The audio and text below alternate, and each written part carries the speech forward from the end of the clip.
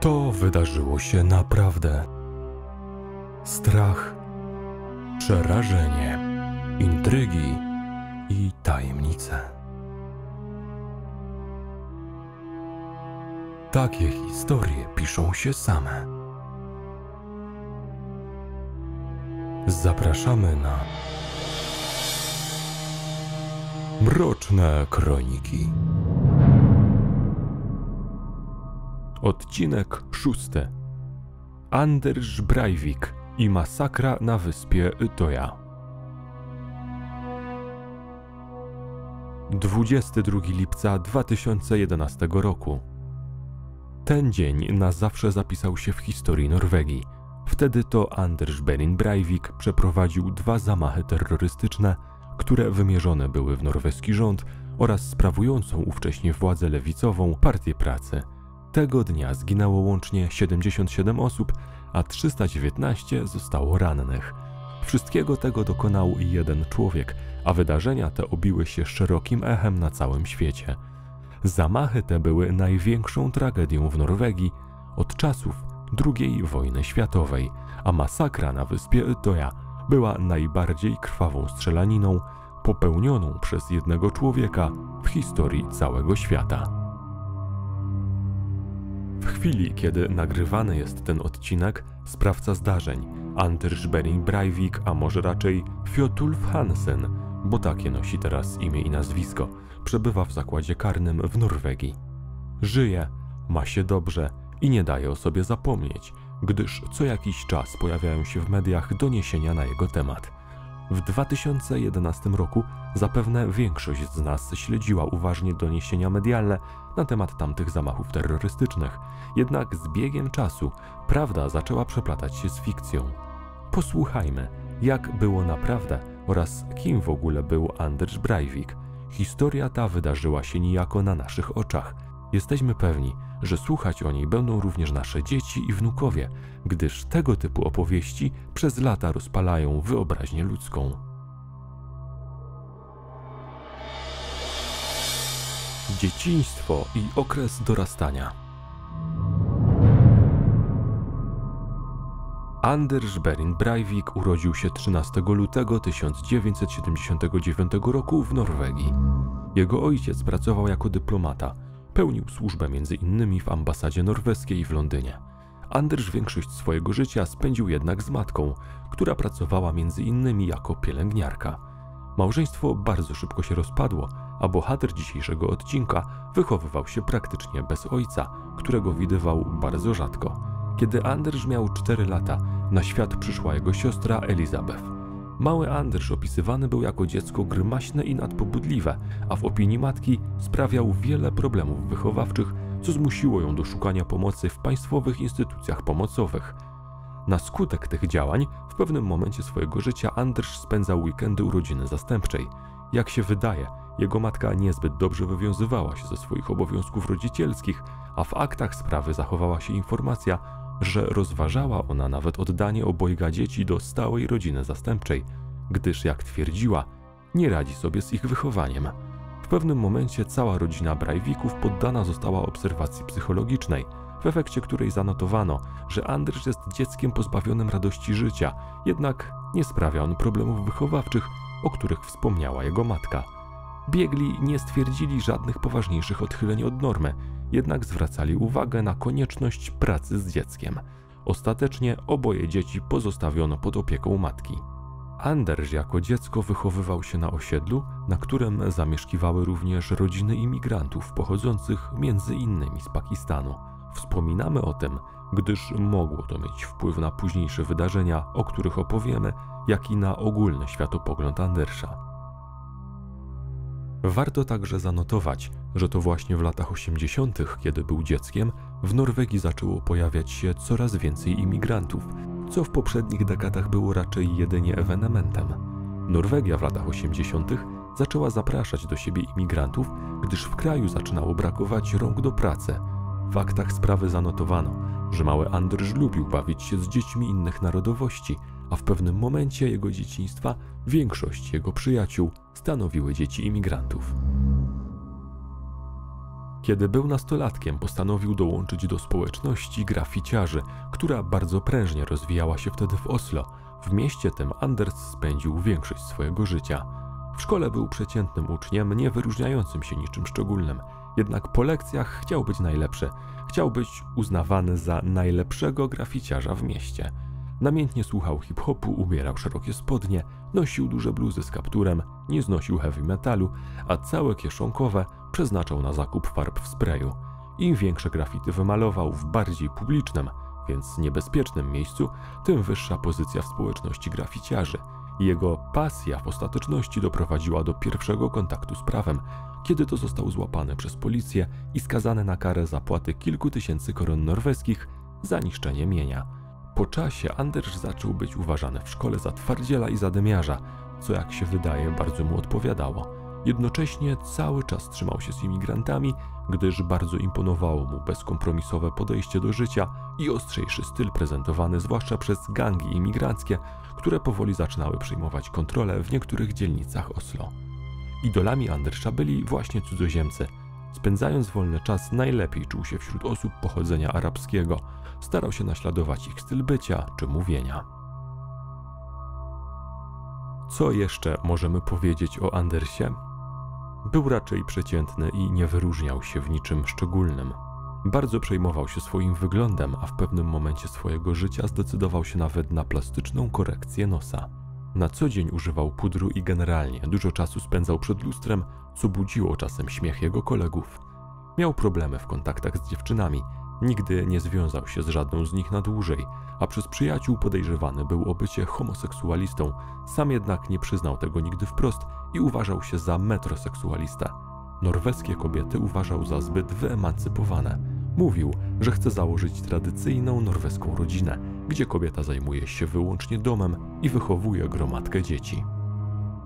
Po okresie fascynacji stylem życia cudzoziemców, Anders nagle w okolicach 20 roku życia przeszedł do ostrej ich krytyki. Można by rzec, wpadł z jednej skrajności w drugą. Wstydził się swojego zbyt dużego nosa i tłumaczył kolegom, że musi wykonać jego korektę, gdyż obecnie jego nos wygląda na arabski i mógłby świadczyć o jego rzekomo wschodnich korzeniach, co miało być powodem do wstydu. Mijały lata, zmieniały się jego poglądy, a wszystkie ideały z graficiarskiego świata, do których należał jako nastolatek, przestały Andersza interesować. Zmierzał w kierunku skrajnego radykalizmu i poglądów cechujących się niechęcią do muzułmańskich imigrantów. Gdy wkroczył w dorosłość, przystąpił do młodzieżówki Partii Postępu, prawicowego ugrupowania politycznego stojącego w opozycji do lewicowej Partii Pracy, która sprawowała wtedy rządy w Norwegii. Zmienił styl ubierania i ogólnie styl swojej prezencji. Stał się elegancki, zaczął używać drogich perfum i kosmetyków, a jego styl wyrażania i artykułowania stał się wysublimowany i jak najbardziej poprawny gramatycznie, co stało w kompletnej sprzeczności z tym, co prezentował sobą będąc nastolatkiem. W szkole średniej radził sobie nieźle, ale jeszcze lepiej szło mu poza nią. Zaczął interesować się giełdą i inwestowaniem. W czasie jednej transakcji giełdowej zarobił ponad 200 tysięcy koron, co utwierdziło go w przekonaniu, że szkoła nie jest mu potrzebna do osiągnięcia sukcesu i bogactwa. Rzucił ją pół roku przed maturą i zajął się rozwijaniem własnego biznesu, polegającego na działalności telemarketingowej. Działalność ta jednak okazała się kompletnym niewypałem i po roku zmuszony był zamknąć swoją firmę. Próbował również szczęścia w branży reklamowej, jednak bez powodzenia. W międzyczasie poświęcał dużo czasu na rozwój osobisty, czytając m.in. książki ekonomiczne z kanonu lektur obowiązujących na studiach ekonomicznych. Coraz bardziej zmieniał swoje wewnętrzne poglądy, zwłaszcza te polityczne. Po czasie stał się oficjalnym krytykiem islamu oraz wszelkich idei związanych z napływem imigrantów do Europy. Jego poglądy stawały się coraz bardziej radykalne. Intensywnie korzystał z internetu i często wypowiadał się na różnego rodzaju forach, prezentując swoje skrajne poglądy. W tym czasie do jego zainteresowań należała także broń palna. Jego znajomi wspominali, że potrafił godzinami opowiadać o rodzajach karabinów, dyskutować na temat tego, jakie uzbrojenie powinna zakupić armia oraz który pistolet jest lepszy od innego. W internecie często wypowiadał się na temat islamizacji Europy i głosił poglądy wieszczące bliską wojnę domową na starym kontynencie, która wywołana zostanie na skutek zbytniego napływu imigrantów do Norwegii i całej Europy. Życie milionera. Kiedy Anders miał 22 lata, założył firmę internetową, która zajmowała się produkcją i sprzedażą fałszywych dyplomów, dokumentów ukończenia studiów czy różnego rodzaju zaświadczeń urzędowych. Oczywiście wszystko funkcjonowało pod legalną przykrywką, gdyż papiery te sprzedawane były jako przedmioty wyłącznie kolekcjonerskie. W praktyce jego klientami byli najróżniejsi ludzie, a duża część z nich posługiwała się wyrobionymi przez Andersa dokumentami w powszechnym obrocie. Na tej działalności gospodarczej Anders zarobił miliony koron i stał się bogatym człowiekiem. Zgromadził kapitał, który pozwolił mu na spokojne życie przez następne kilka lat. Mieszkał w tym czasie w wynajmowanym mieszkaniu, gdyż mógł sobie na to pozwolić. Co ciekawe, mieszkanie to sprzątała mu matka, której płacił za wykonywanie tych czynności kilka tysięcy koron miesięcznie. Po pewnym czasie działalnością firmy Breivika zainteresowały się jednak organy ścigania oraz prasa, pisząc o tajemniczym Norwegu, który sprzedaje na masową skalę fałszywe dyplomy. Zmusiło to Andersa do zamknięcia firmy i zaprzestania tego typu działalności, gdyż obawiał się dalszych problemów z tego tytułu. Zgromadzony kapitał jednak pozostał i pozwolił mu na finansowanie dalszej działalności, o której opowiemy już za chwilę. Anders w tym momencie swojego życia był bogaty, miał za co żyć, nie musiał martwić się o najbliższą przyszłość, a więc coraz bardziej zaczął go pochłaniać internet i gry komputerowe. Wtedy jeszcze nie przypuszczał, że w internecie spędzi najbliższe kilka lat swojego życia, a jego kontakty ze światem zewnętrznym ograniczą się do posiłków, załatwiania potrzeb fizjologicznych i rozmów z matką, u której po pewnym czasie zamieszkał, by oszczędzić na kosztach życia, gdy jego własny kapitał zaczął się sukcesywnie zmniejszać. Potrafił spędzać w internecie po 17 godzin na dobę. Żył z oszczędności i był na garnuszku u matki, która załatwiała za niego podstawowe sprawunki.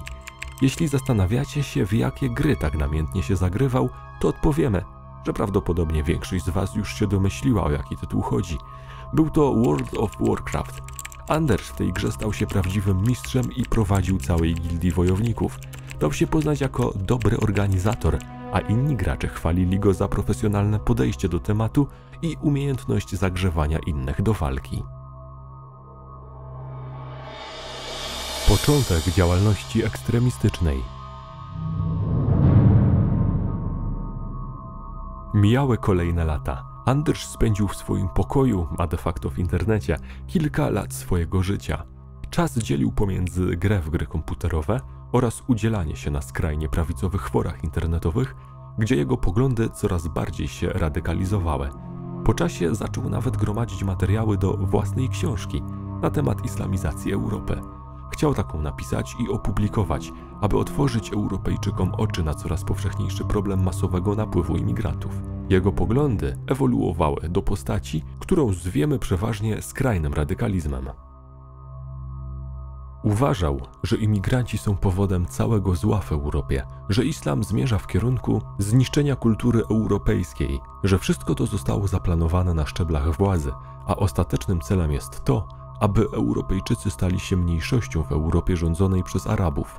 Anders przeczytał cały Koran i znał go do tego stopnia, że potrafił wdawać się w dyskusję na jego temat z pakistańskimi imigrantami. Uważał, że lewicowa partia pracy rządząca Norwegią zniszczyła jego kraj, pozwalając na zbytni napływ imigrantów, którzy rozmnażają się bardziej niż Norwegowie, co po latach doprowadzi do tego, że przejmą oni władzę w jego kraju, a to doprowadzi do wojny domowej w najbliższych dziesięcioleciach.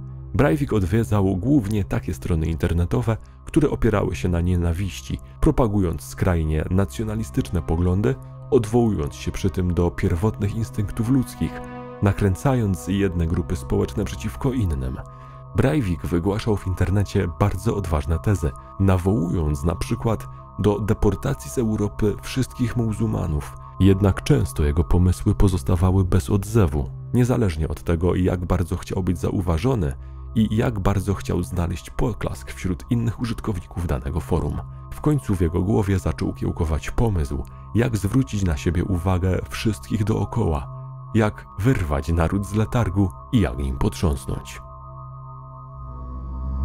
W pewnym momencie swojego życia Breivik przestał spędzać czas na grach komputerowych, a skupił się już wyłącznie na jednym temacie zahamowaniu muzułmańskiej imigracji.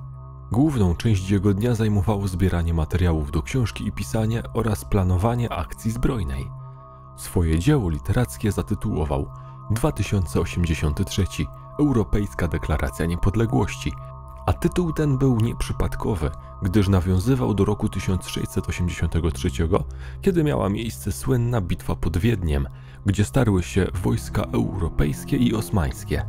Zdaniem Breivika 400 lat po tym wydarzeniu, a więc w roku 2083, muzułmanie zostaną finalnie wypędzeni z Europy i stary kontynent odzyska wolność. Tekst Breivika miał jeden cel: zagrzać do walki, rozpalić czytelnika. Jednocześnie oskarżał on w swojej książce wielu ludzi, którzy jego zdaniem odpowiadali za upadek Europy. Zabójstwa niektórych osobistości planował już w czasie tworzenia szkicu swojego dzieła. Pozbawienie życia miało być karą, a jednocześnie przestrogą dla innych. W książce żądał, aby wydalono wszystkich muzułmanów z Europy, chyba że przyjmą oni chrzest w wierze chrześcijańskiej, zmienią imię i nazwisko na europejskie oraz zobowiążą się do przestrzegania chrześcijańskich zasad i nie będą mieli więcej niż dwójki dzieci. Deklaracja Breivika została opracowana w najmniejszych szczegółach, z opisem konkretnych działań konserwatywnego ruchu oporu podzielonych na fazy. Jego zdaniem do roku 2030 trwać będzie faza numer 1, która ma polegać na szturmach i pojedynczych akcjach wycelowanych przeciwko zdrajcom Europy. Faza druga ma rozpocząć się w roku 2030 i potrwać do roku 2070, kiedy to ruch oporu ma przybrać już oficjalną formę. Powstaną wtedy zorganizowane grupy szturmowe.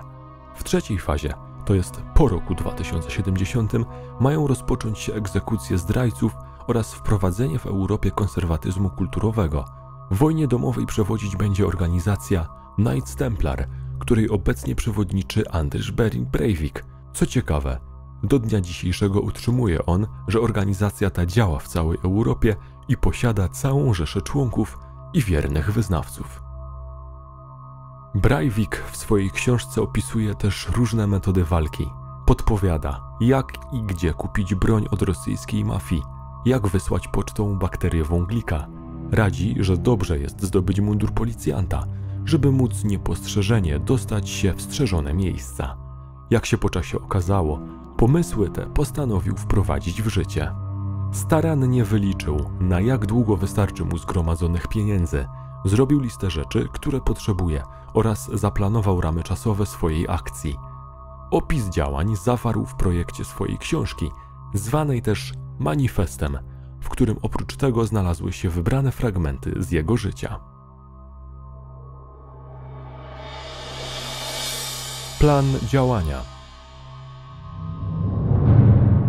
Breivik postanowił zbudować bombę oraz zaopatrzyć się w broń palną. Było to niezbędne, aby przeprowadzić akcję zbrojną, z pomocą której planował wymierzyć zdrajcą narodu sprawiedliwość i obudzić naród norweski z letargu. Do skonstruowania bomby potrzebny był mu sztuczny nawóz, a żeby go legalnie kupić w dużych ilościach, musiał mieć gospodarstwo rolne. Tak więc w 2009 roku założył jednoosobową działalność i wynajął małą opuszczoną farmę poza miastem. Zaczął także gromadzić pozostałe wyposażenie, dokonując zakupów przez internet w różnych krajach, w tym m.in. w Polsce, gdzie zaopatrzył się na przykład w azoten sodu, potrzebny do skonstruowania bomby. Ponadto Oprócz pistoletu i karabinu zakupił także celowniki laserowe i tłumiki, dodatkowo magazynki, nadajniki GPS czy zestawy kolców dziurawiących opony samochodowe. Z różnych elementów ubioru sportowego skompletował mundur, do złudzenia przypominający ten używany przez norweską policję. Zakupił hełm, maskę przeciwgazową, ochraniacze na ramiona, kamizelkę kuloodporną.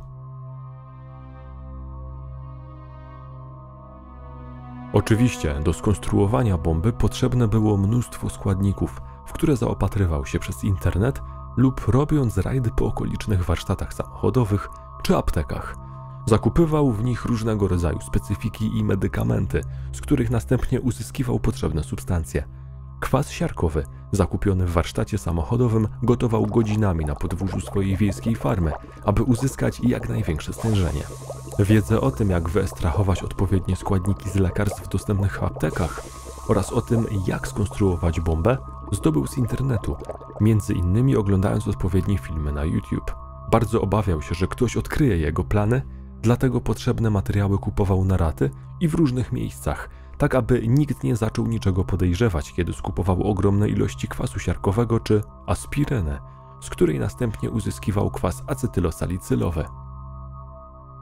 Jednocześnie zadbał o to, aby w dniu zaplanowanej akcji samemu być w dobrej formie. Zaczął regularnie ćwiczyć oraz zażywał różnego rodzaju suplementy, anaboliki i odżywki. Jak sam wyjaśnił w swoim manifestie, dbał także o swoje zdrowie moralne, nagradzając się od czasu do czasu na przykład wystawną kolacją za dobrze wykonane zadanie związane z przygotowywaniem do zamachu. Po całej akcji miał powiedzieć, że skonstruowanie bomby to cholernie ciężka praca fizyczna. Zanotował, że nawóz, który zamówił pod pretekstem prowadzenia gospodarstwa rolnego, dostarczany był w postaci małych kuleczek, które należało zgnieść, a następnie polać ropą, aby uzyskać siłę wybuchową z zawartych w nawozie substancji. Obliczył, że aby skonstruować dostatecznie silną bombę, potrzebuje kilka ton nawozu, które następnie własnoręcznie przetworzył w zaciszu swojej farmy przy użyciu prostych narzędzi, dostępnych powszechnie w użytku. Aby uzyskać pozwolenie na zakup broni palnej, zapisał się do klubu strzeleckiego, gdzie regularnie trenował swoją celność. Wszystkie chemikalia przetwarzał na farmie, stosując jedynie prowizoryczne środki bezpieczeństwa, przez co ciągle obawiał się chorób będących następstwem wdychania różnego rodzaju oparów i pyłów. Dzień zero.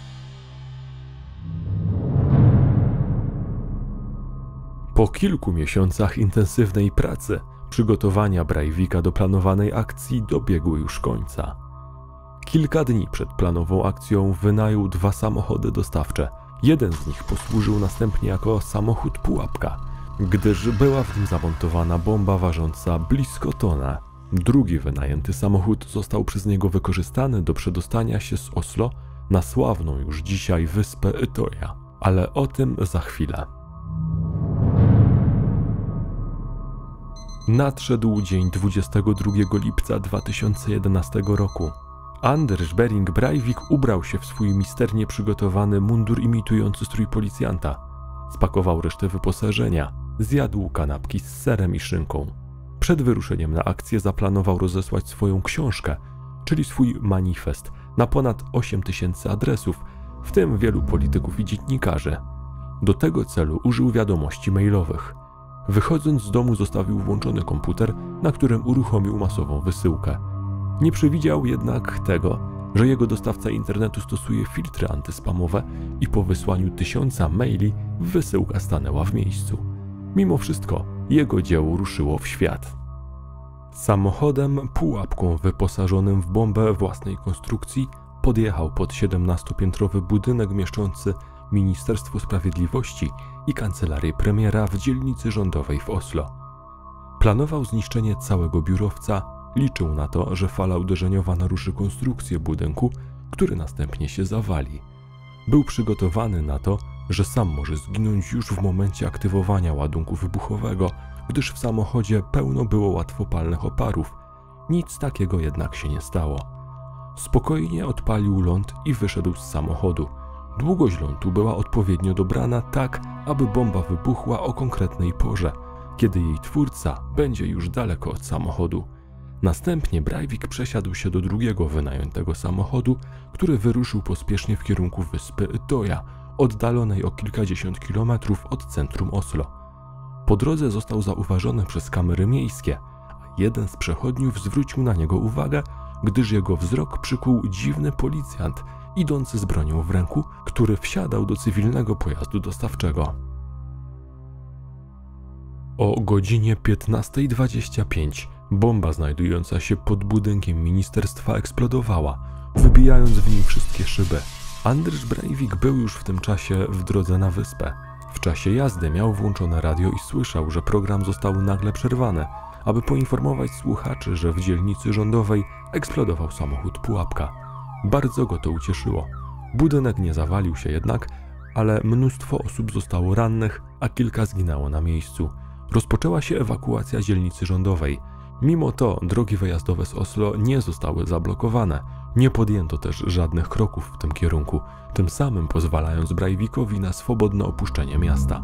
Była to pierwsza tego typu sytuacja w Norwegii, a więc służby działały bardzo chaotycznie, brakowało jasno sprecyzowanych procedur działania. Z czasem do policji napływać zaczęły doniesienia o podejrzanym mężczyźnie w mundurze, który kilka minut przed wybuchem wsiadał do cywilnego pojazdu dostawczego w pobliżu miejsca zdarzenia. Znany był ogólny rysopis Breivika oraz samochodu, którym się obecnie poruszał. Przejrzano nagrania z monitoringu miejskiego, ale wiadomości te zignorowano. Nie nadano też żadnych alarmujących wiadomości do patroli policyjnych poruszających się po Oslo i poza nim. Prawdopodobnie kilka niczego nieświadomych patroli mijało Breivika na jego trasie prowadzącej z Oslo na wyspę Utøya. Do dzisiaj wiele ludzi ma żal do władz o to, że mimo iż wysadzono w powietrze za pomocą bomby najwyższy ośrodek władzy w kraju, nie zastosowano wszystkich możliwych środków bezpieczeństwa. Wiele doniesień zignorowano, umożliwiając tym samym terroryście swobodne kontynuowanie swojej akcji.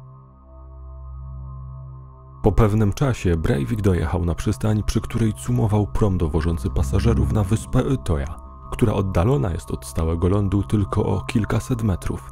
Sama wysepka jest bardzo mała i ma zaledwie 12 hektarów powierzchni. Ale dlaczego w ogóle Breivik wybrał tę wyspę na miejsce dalszej części swojej akcji terrorystycznej? Otóż 22 lipca 2011 roku organizowany był tam letni obóz dla młodzieżówki lewicowej Partii Pracy, tak bardzo znienawidzonej przez Breivika partii politycznej, którą obwiniał o dopuszczenie do islamizacji Norwegii. Tego dnia na wyspie obecne były prawie wyłącznie osoby związane z Partią Pracy, głównie była to młodzież zrzeszona w tej organizacji, ale znajdowali się tam także różnego rodzaju mówcy i zaproszeni goście. Jak pamiętamy, Breivik ubrany był w strój łudząco przypominający mundur używany przez norweską policję, a na głowie założony miał hełm. Niósł przy sobie broń, ponadto ciągnął za sobą pancerną skrzynię na kołach, w której znajdowały się kolejne sztuki broni oraz znaczna ilość zapasowej amunicji. Kiedy znalazł się na przystani, nie wzbudził niczyich podejrzeń. Co więcej, oznajmił, że został przysłany do obrony uczestników letniego obozu w związku z zamachem, do którego doszło w dzielnicy rządowej Oslo. Ludzie zgromadzeni na przystani uwierzyli w jego słowa. Breivik zażądał, aby natychmiast przetransportowano go na wyspę, oczywiście w celu zabezpieczenia terenu przed ewentualnymi zamachowcami. Po zacumowaniu na wyspie poprosił o przetransportowanie jego pancernej skrzyni pod główny budynek znajdujący się na wyspie. Jednocześnie polecił, aby przekazano wszystkim informacje o tym, że policja żąda, aby wszyscy zebrali się w jednym centralnym miejscu. Oczywiście wszyscy gorliwie spełniali polecenia przedstawiciela służb porządkowych. W tym czasie na wyspie znajdowało się mniej więcej 700 osób, z czego około 600 nie miało nawet ukończonych 20 lat. Kiedy Breivik wraz z innymi osobami zmierzali pieszo w kierunku centrum wyspy, pomyślał: Teraz albo nigdy. Wyciągnął pistolet, który miał zamocowany w kaburze na udzie. Jedna kula czekała w komorze, kolejne 17 w magazynku. Trzy osoby szły przed nim, dwie za nim. Podniósł pistolet i bez wahania zastrzelił strażnika wyspy, który szedł bezpośrednio przed. Następnie zastrzelił kobietę znajdującą się tuż obok. Jak sam później zeznał, od tej chwili wszystko już było proste. Świadkowie tych zdarzeń rzucili się w panice do ucieczki. Breivik stanął spokojnie na rozstawionych nogach i po kolei strzelał w plecy uciekających. Świadkami tego była młodzież znajdująca się w okolicy. Jak pamiętamy, wyspa Utoja jest naprawdę niewielka i wszyscy słyszeli huk wystrzałów. Rozpoczęła się zbiorowa panika. Na wyspie niewiele miejsc nadawało się na kryjówkę, gdyż znajdują się tam głównie otwarte polany, niemal pionowe zbocza schodzące prosto do wody lub rzadki las. Na środku wyspy znajdował się wtedy niewielki drewniany budynek, w którym wielu ludzi próbowało się schronić. Breivik niespiesznie zmierzał w jego kierunku, strzelając do wszystkich napotkanych po drodze ludzi. Wszedł do środka. Niektórzy ze zgromadzonych, widząc co się dzieje, próbowali kłaść się na ziemię i udawać martwych, ale Breivik doskonale wiedział, do kogo już oddał strzał, a do kogo nie. Po kolei podchodził do leżących i strzelał im prosto w głowę. Kilka osób zastygło w bezruchu, kompletnie sparaliżowanych strachem. Nawet nie próbowali uciekać. Breivika bardzo to dziwiło i opowiadał później, że na filmach tego typu sytuacje przedstawiane są w zupełnie inny sposób. Po kolei do wszystkich strzelał. Niektórzy próbowali w panice szukać jakiejkolwiek kryjówki. Masakra trwała w najlepsze, ale oczywiście nie wszyscy zginęli na miejscu. Niektórzy zostali okrutnie zranieni, na przykład otrzymując strzał w szczękę, która rozpadała się na kawałki, ale mimo to nadal żyli i byli świadkami wszystkiego, co dzieje się dookoła. Breivik przebywał w budynku około 2 do 3 minut, zabijając w tym czasie 13 osób, a wiele kolejnych zostawiając bardzo ciężko rannych. Była godzina 17.29. Młodzież, widząc co się dzieje i słysząc strzały, dzwoniła w panice na policję i do swoich rodziców. Wyobraźmy sobie, jak musiały wyglądać tego typu rozmowy i co ci ludzie przeżywali. Po czasie wykonywanie połączeń z terenu wyspy okazało się niemożliwe, gdyż sieć telefoniczna została kompletnie przeciążona. Mijały cenne minuty, ratunek nie nadchodził, a wszystko działo się bardzo szybko. Breivik szedł dalej przez wyspę, zabijając kolejne nieudolnie ukrywające się osoby. Doskonale pamiętał, do kogo strzelał, a do kogo nie, a więc kładzenie się na ziemi i udawanie martwego w niczym nie pomagało. Podchodził i strzelał leżącym nieruchomo ludziom prosto w głowę. Oczywiście amunicji mu nie zabrakło, gdyż po drodze zdążył już uzupełnić swoje zapasy, wykorzystując naboje, które miał zgromadzone w pancernej skrzyni znajdującej się na środku wyspy. Wielu ludzi próbowało się ratować wskakując prosto do wody i płynąc w kierunku stałego lądu. Wielu z nich udało się w ten sposób uniknąć śmierci. Breivik w tym czasie chodził po wyspie i krzyczał: Pozabijam was wszystkich, marksiści! Policja była już świadoma tego, co mniej więcej dzieje się na wyspie ale zorganizowanie oddziału specjalnego trwało. Upływały kolejne minuty, a działania policji były bardzo chaotyczne. Przykładowo, źle ustalono miejsce zbiórki, ponadto brakowało łodzi do przetransportowania oddziału antyterrorystycznego na wyspę. Uzbrojeni funkcjonariusze długi czas bezsilnie stali na stałym lądzie, nie mogąc doczekać się na łódź policyjną. Słyszeli strzały padające na wyspie, która oddalona była zaledwie o kilkaset metrów. Po zastrzeleniu około 40 osób na wyspie, Breivik uznał, że jego zadanie zostało wykonane i czas poddać się policji. Pragnął on bowiem przeżyć całą akcję i wziąć udział w procesie pokazowym, na którym mógłby głośno wypowiedzieć swoje poglądy.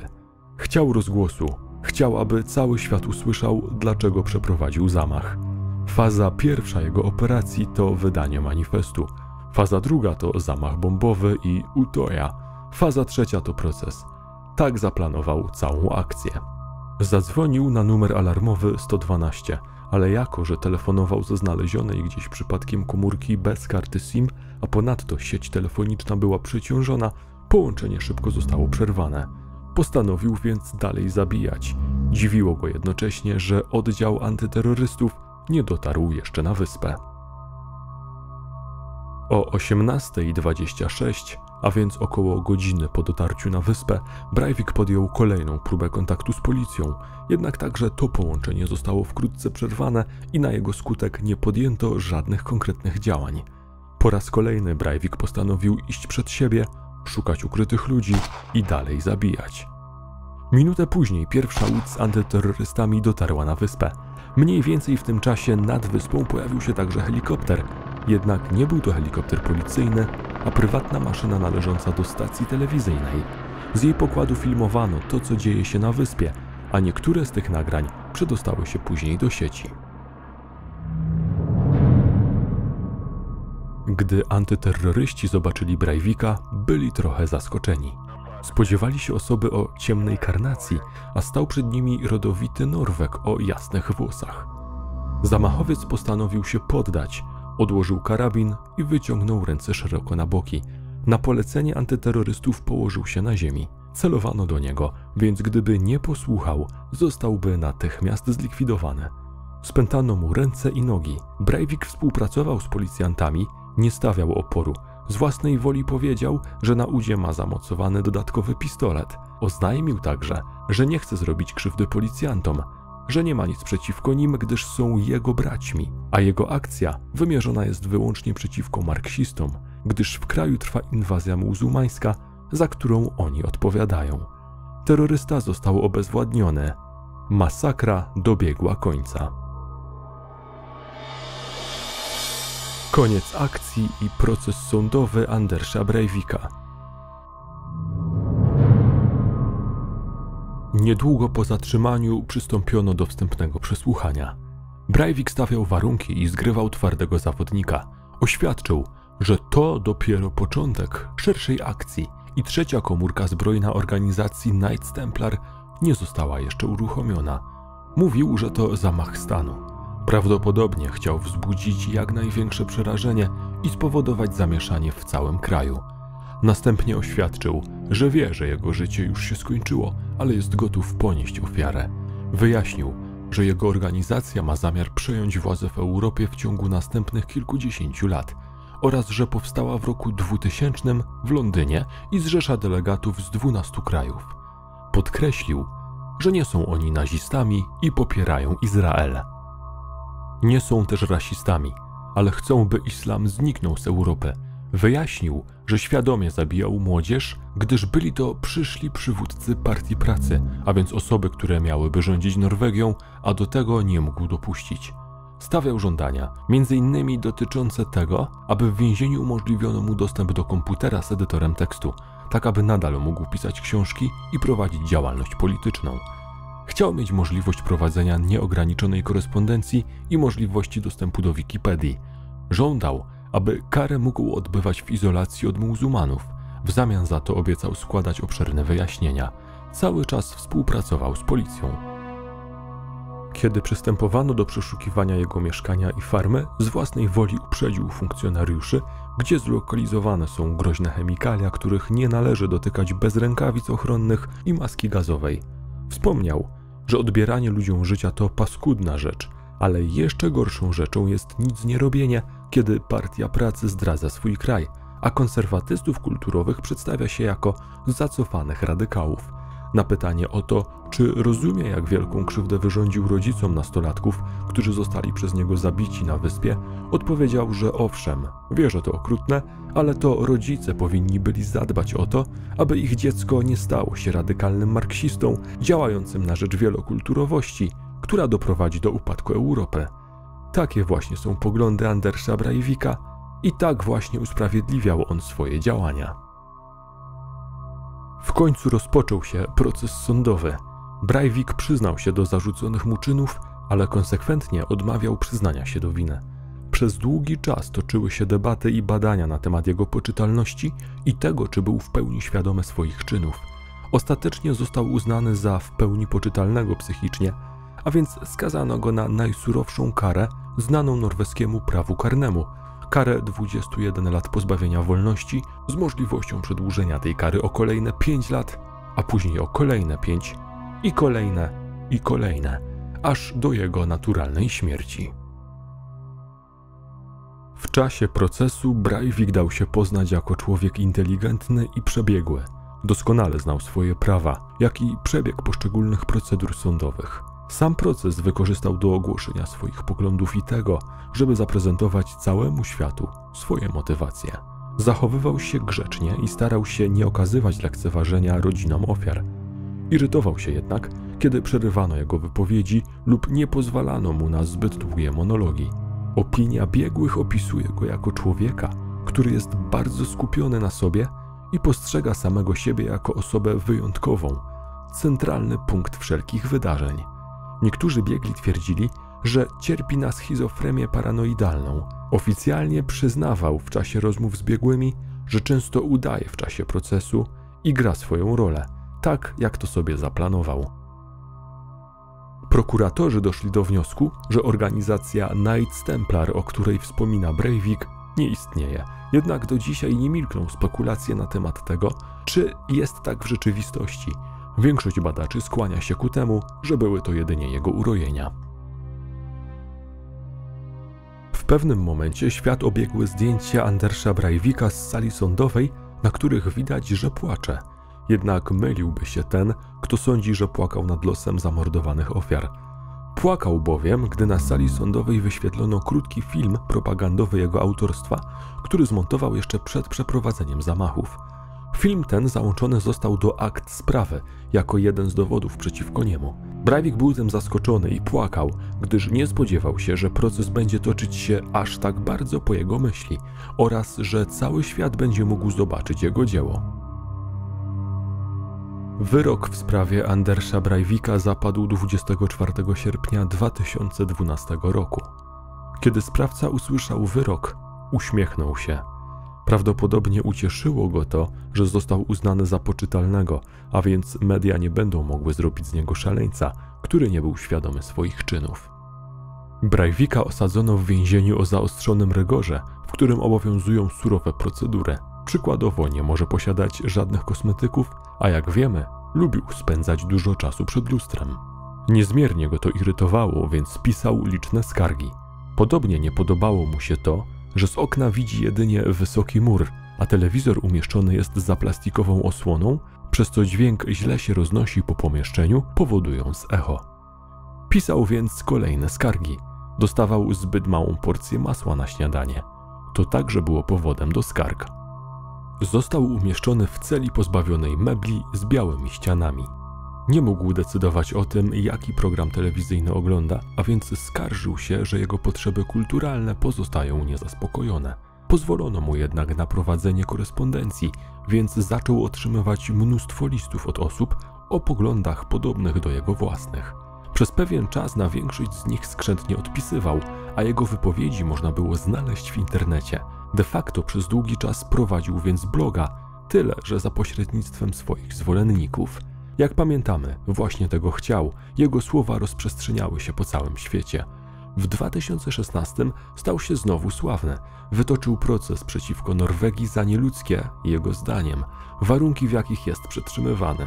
Ostatecznie sąd nie przyznał mu jednak racji, uznając, że zaostrzone warunki, w jakich jest przetrzymywany, są konieczne ze względów bezpieczeństwa.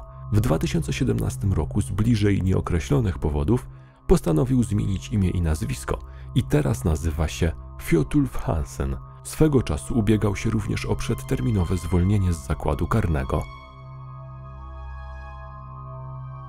O Andersie Breiviku nadal jest głośno, a w lipcu 2021 roku miała miejsce dziesiąta rocznica dokonanej przez niego masakry. Powtórzmy, z rąk Breivika zginęło łącznie 77 osób. Niestety jego dokonania stały się także inspiracją dla wielu innych ekstremistów, którzy pozbawili życia kolejne osoby w imię swoich skrajnych poglądów politycznych czy religijnych. Wspomnieć tu należy chociażby o zamachu terrorystycznym, który miał miejsce w Nowej Zelandii w 2019 roku, kiedy to uzbrojony ekstremista zamordował ponad 50 osób znajdujących się w meczecie. Jednak jest to już opowieść na zupełnie inny odcinek naszego podcastu.